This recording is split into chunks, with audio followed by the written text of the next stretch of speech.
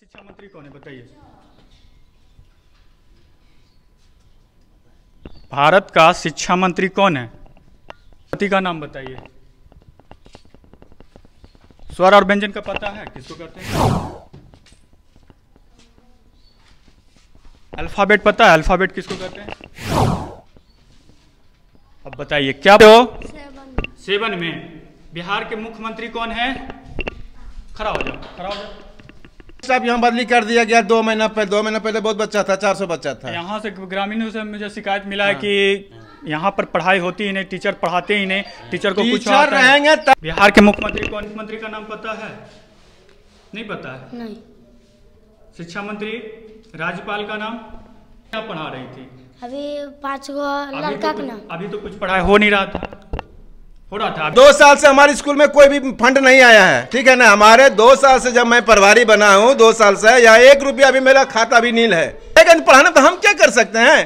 Teacher हमारे school में है ये नहीं? तो पढ़ाने में हम क्या कर सकते हैं? मिले हम ऑफ़िस मैंने रूम मैंने क्लास छोड़ कम डीएस जब मिला हूँ ऑफ़िस अपना जाएँगे। अभी मैं इसका काम समूचा डीलिंग नहीं होगा तो कौन करेगा? तीन वर्ष ऑफ़िस में लगे हुए कैसे? हम बच्चा को पढ़ा साहब यहाँ बदली कर दिया गया दो महीना पहले दो महीना पहले बहुत बच्चा था चार सौ बच्चा था। यहाँ से ग्रामीणों से मुझे शिकायत मिला है। कि यहाँ पर पढ़ाई होती ही नहीं टीचर पढ़ाते ही नहीं टीचर को कुछ रहेंगे अभी मैं चानन प्रखंड के गोहरी ग्राम पंचायत में हूँ और यहाँ से मैं कुछ आपको एक अजूबा चीज़ दिखाऊँगा जहाँ मास्टर तो हैं पर पर बच्चे नहीं हैं। आखिर मास्टर साहब किसको पढ़ाते होंगे बेंच को पढ़ाते होंगे या फिर किसी और चीज़ को पढ़ाते हैं? कैसे होता होगा पढ़ाई क्या विकास हो रहा होगा इस स्कूल का आप नज़ारा आप देख सकते हैं। फ़िलहाल मैं उन मास्टरों साहब से भी बात करूँगा कि आखिर बच्चे इस स्कूल में क्यों नहीं पढ़ते हैं, क्या कारण है, क्या वजह रहा होगा, उसके बारे में हम जानकारी लेंगे। तो चलिए मैं आपसे मास्टर साहब से मिलाता हूँ।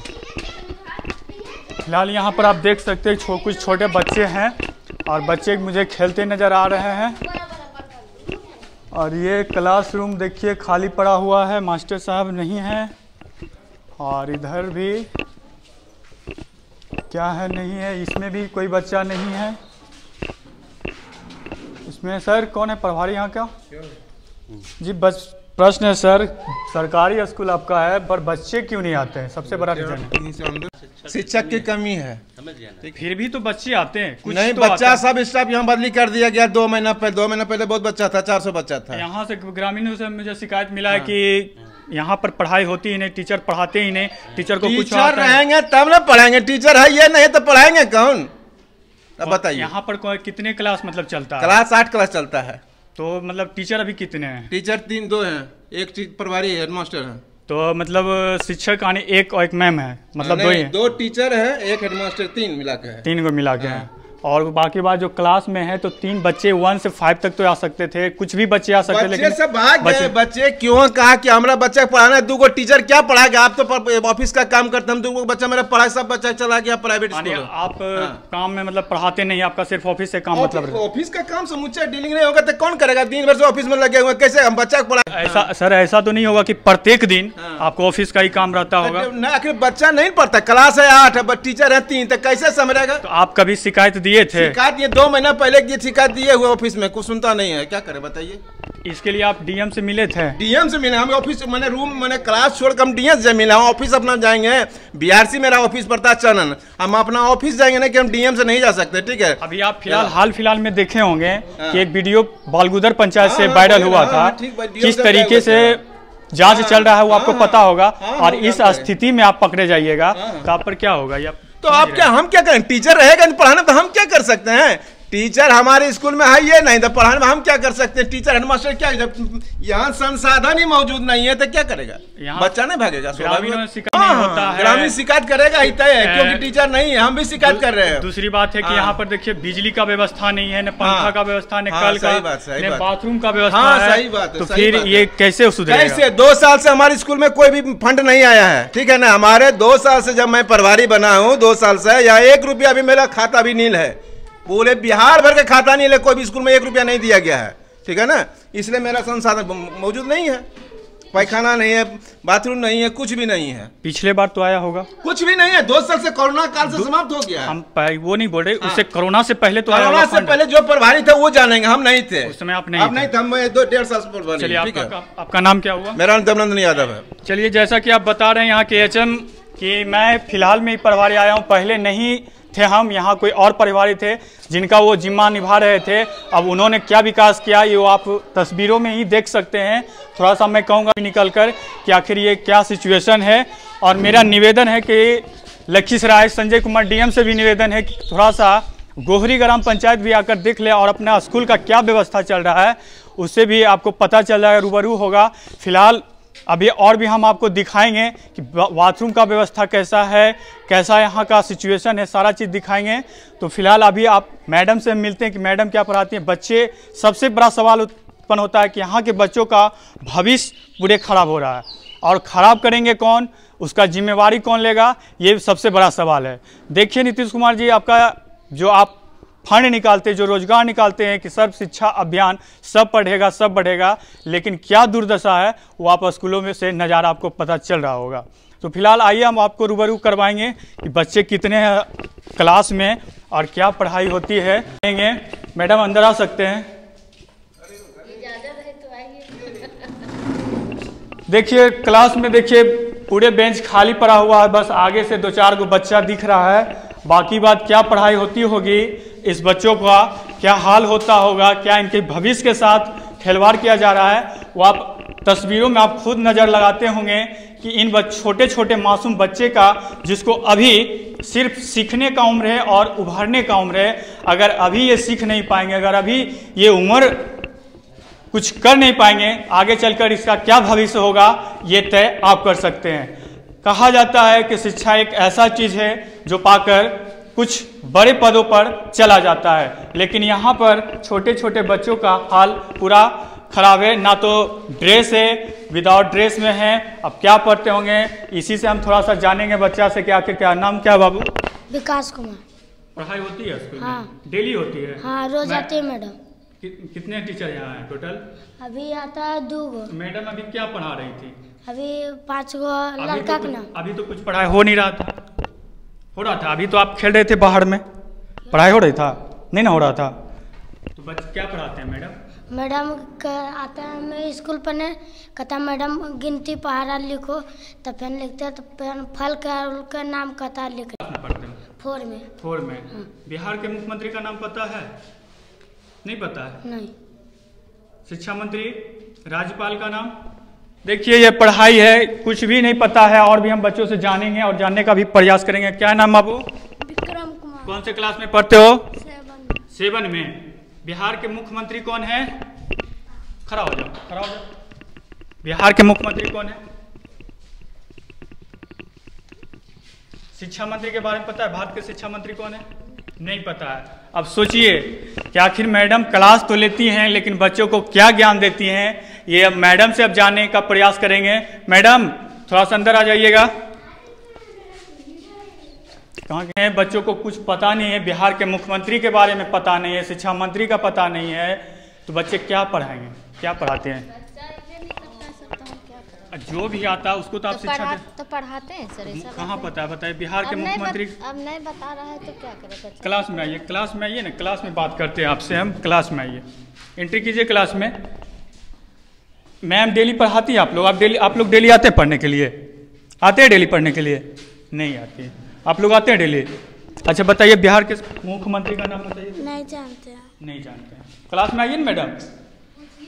तो आप क्लास में आइएगा तो आपका क्लास है तो क्लास में पूछेंगे। आप बाहर में खड़ा रहिएगा तो बड़ा बाहर में बाहर में आप क्या बताइए। आप क्लास में आइएगा तभी तो हम पूछेंगे बताएँगे। आप कैसे बताइएगा बच्चा को? वहीं से बताइएगा बोर्ड पर लिख कर बच्चा, उसको तो आप अभी बता सकते हैं ना। तो बोर्ड पे आइएगा, तभी तो हम पूछेंगे। अब कैसे पूछे? अब यहाँ पर क्या लिखिएगा वहीं पे लिखा जाएगा। गजब हाल है। चाहिए यहाँ पर लिखिए, चौक है, चौक मंगवा लीजिए। और बच्चों को लिखवाइए थोड़ा सा जानने का भी हम आपसे प्रयास करेंगे, आप क्या पढ़ाती हैं, नहीं पढ़ाती हैं। अभी आपको पता होगा कि हाल ही फ़िलहाल में बलगुदर पंचायत में किस तरह से मास्टर को और मैडम को पूछा गया था, वो आपको पता होगा। अब बच्चे के साथ भविष्य के साथ खिलवाड़ कीजिएगा तो कैसे महसूस होगा? अगर आपका बच्चा यहाँ पढ़ता तो आप ऐसे ही करते क्या? आइए बाहर में बात कर लेते हैं आइए। आपके अगर बच्चा यहाँ पे पढ़ता तो आप क्या करते हैं? पूछिए प्रभारी सर हमसे क्या अरे आप क्लास टीचर हैं हम क्लास हम भी एक क्लास टीचर बच्चा है तो पाँचों क्लास के हम ही तो टीचर हैं तो कौन सा क्लास के टीचर हैं? वन टू का टीचर है। अरे भारत का शिक्षा मंत्री कौन है बताइए।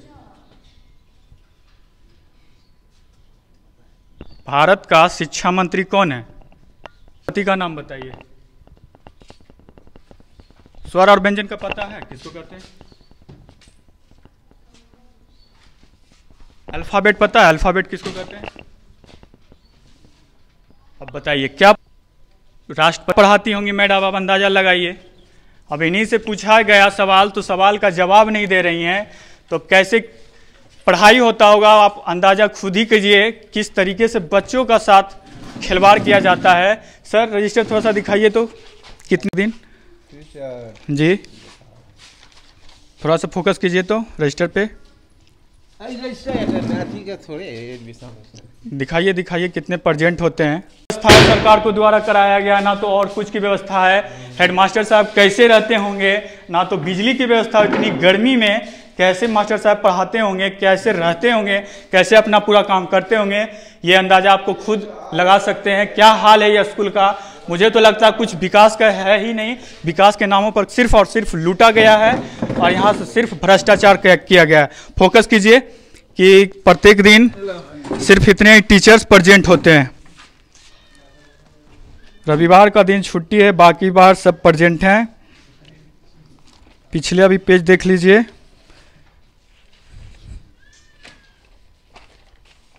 चलिए रजिस्टर तो ठीक है। बच्चे सर कितने नामांकित यहाँ?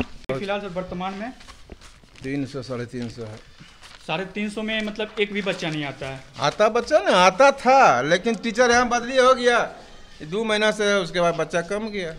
थोड़ा सा मैं ग्रामीणों से भी जानने का प्रयास करूँगा कि आखिर बच्चे अपने क्यों नहीं भेजते स्कूल पढ़ने के लिए, जबकि इन्हीं लोगों के लिए सरकारी स्कूल बनाया गया है और ये बच्चे को नहीं भेजेंगे तो इनके कहीं ना कहीं इनके भविष्य के साथ, ये अपने बच्चों का भविष्य के साथ खिलवाड़ कर रहे हैं।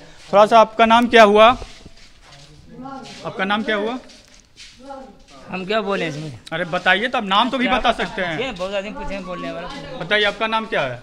विनोद कुमार यादव। अच्छा एक चीज़ बताइए आपके गाँव का ये स्कूल है आप अपने बच्चे को यहाँ नहीं भेजते पढ़ने के लिए कारण क्या नहीं होता क्या पढ़ाई नहीं हो रहा क्या भेजेंगे? भविष्य खराब हो जाएगा बच्चा कुछ भी पढ़ाई नहीं होता है। कुछ नहीं हो रहा। है तो आखिर यहाँ पर होता क्या है? आपके तो नज़रों के सामने होता है हम लोग बहुत दूर से आते हैं। है ना? तो हम लोग को तो नज़र नहीं आता लेकिन आपको हैं हो है आपको तो पता होगा कि इस स्कूल में क्या होता है क्या कितने बजे तक स्कूल चलता है कितने बजे तक मास्टर आते हैं क्या करते हैं स्कूल में जब बच्चा नहीं रहता है ये तो आपको पता है इस स्कूल में आइए क्या करेगा? जब कुल मैडम को दिया झोला छाप दिया पढ़ाइए लिखाई नहीं होगा तो बच्चा का भविष्य खराब नहीं होगा इसमें। इसलिए अपना कुल बच्चा प्राइवेट में भेज दिया है। प्राइवेट में पढ़ाते हैं आप लोग। जैसा कि देख रहे हैं कि ग्रामीण का कहना है कि यहाँ पर कुछ होता नहीं है यहाँ पर झोला छाप मैडम को बना, भेजा गया है, मास्टर को भेजा गया है तो इसका बस कुछ ही दिन में आपको असर दिख जाएगा कि आखिर इस स्कूल का नतीजा क्या होने वाला है। मैं आशा करता हूँ, मैं डीएम साहब से भी हाथ जोड़कर विनती करता हूँ कि एक बार इस स्कूल का भी निरीक्षण करें, आपको आइडिया पता चल जाएगा। आप बता दीजिएगा, है ना? चलिए तो यहाँ पर हम पैखाना के बारे में जानेंगे, बाथरूम की व्यवस्था क्या है, नहीं है उनके बारे में हम सर से जानेंगे कि आखिर ये कब से नहीं है, इसके विषय में आइए, क्या कहना चाहते हैं, उन्हीं से हम जानेंगे। बताइए सर, यहाँ पर बाथरूम की व्यवस्था नहीं अगर बच्चे पढ़ने के लिए आते हैं, बच्चे अगर चल जाते हैं, बच्चे के लिए तो कोई दिक्कत नहीं है। अगर बच्चियाँ पढ़ने के लिए आती है तो बाथरूम की व्यवस्था अगर नहीं है तो वो कहाँ पर जाएँगे? बच्ची बाथरूम है ही नहीं, आठ दस से बाथरूम बाथरूम नहीं मतलब आठ साल से आठ साल से पहले से नहीं बाथरूम यहाँ है। न पैखाना न बाथरूम कोई है ही नहीं। यहाँ पर सर टंकी का भी व्यवस्था नहीं चापा व्यवस्था सिर्फ़ चापाकल मात्र ओपन में खुला हुआ चापा कल मात्र है। सर जब से आप यहाँ आए हैं तब से ये लाइट नहीं है या फिर उससे पहले का भी लाइट नहीं है?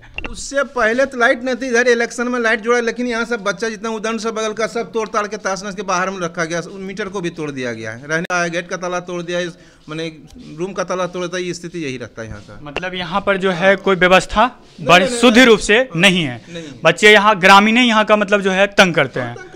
जो कि मतलब खाने और पीने का जो व्यवस्था रहता है, वो सब भी मतलब दिक्कत देते हैं, या फिर उसमें त्रुटि, या फिर उसमें बचाव, या फिर देख रेख ही नहीं करते ग्रामीण? कोई ग्रामीण देख रेख ही नहीं? तालाब तोड़ दिया बच्चा, कोई बच्चा तोड़ रहा है, क्या कर रहा है? कुछ भी कर नहीं। गंदा देखिए मम्मी साफ़ करवाए समूचे फ़ील्ड को।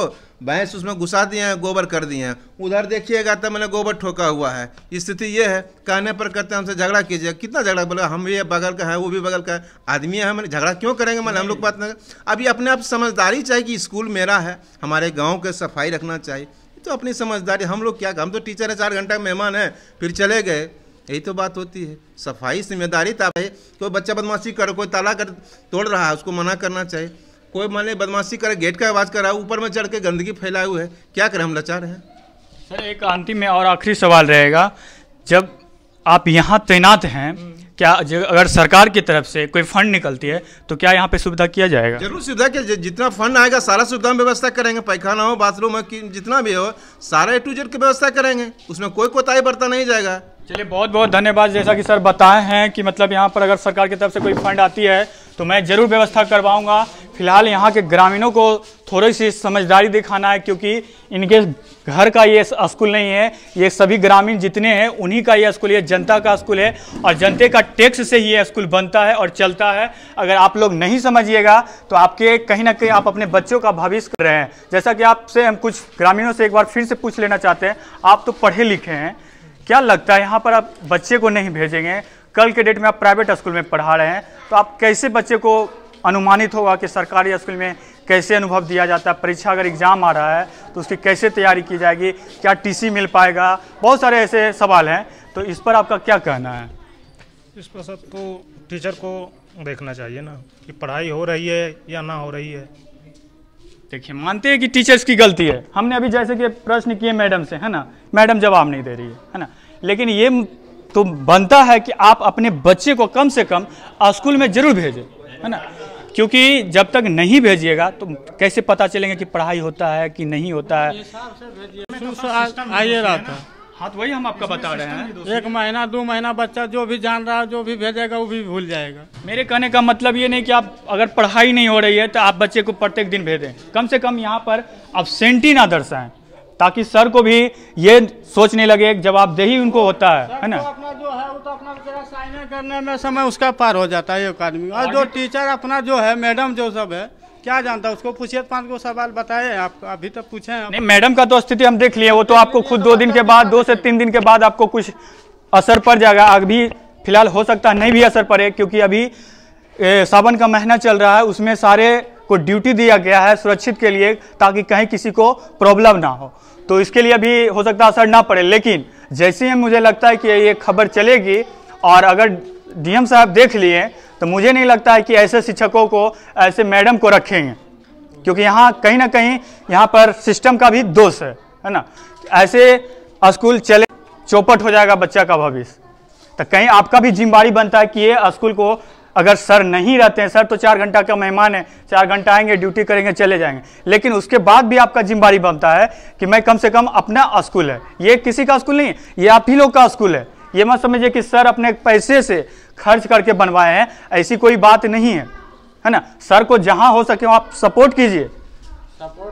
सपोर्ट अगर नहीं कीजिएगा तो कल के डेट में ये आपके बच्चों का भविष्य भी बर्बाद कर सकते हैं। सपोर्ट पूरा गाँव सपोर्ट नहीं रहता था आज ये कॉलेज चालू नहीं रहता। पब्लिक चाहता तो स्कूल बंद करवा देता टोटल। पूरा टीचर के भगा देता मार के।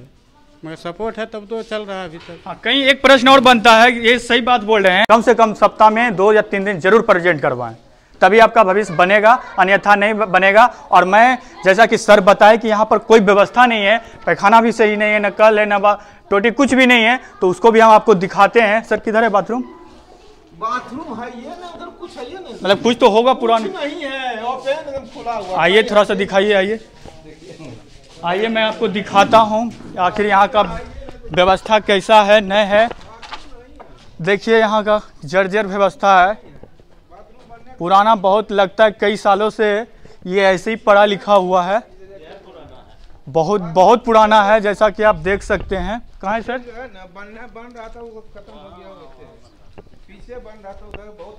आइए हम आपको रूबरू करवाएँगे देखिए पीछे जाके उधर बाथरूम बना था उधर खत्म हो गया उसके पर सर ज- पीछे उधर बाथरूम वहाँ जगह जंगल में वहाँ उधर दिखाई पर उधर से थोड़ा सा जाइए कैमरामैन से कहेंगे दिखाइए आगे जाकर कहाँ पर है। बहुत में दम जाके जूम कर दीजिए।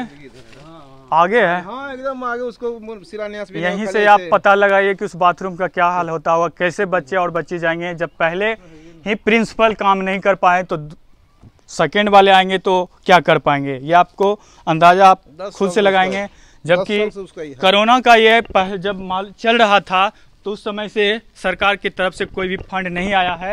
हालाँकि तक हो सके, मैं फिर से विनती करता हूँ बार बार अपील कर रहा हूँ कि बच, अपने ग्रामीण क्षेत्र के जो भी बच्चे हैं, जो भी गार्जियंस हैं, वो अपने बच्चे को ज़रूर भेजें ताकि स्कूल का पढ़ाई फिर से चालू हो और व्यवस्था सुधर जाए। जैसा कि सर बोल रहे हैं कि अगर फंड कोई आती है तो मैं व्यवस्था को ज़रूर सुधारूँगा और कोशिश मेरा यही है। इस वीडियो को ज़्यादा से ज़्यादा शेयर करें। धन्यवाद।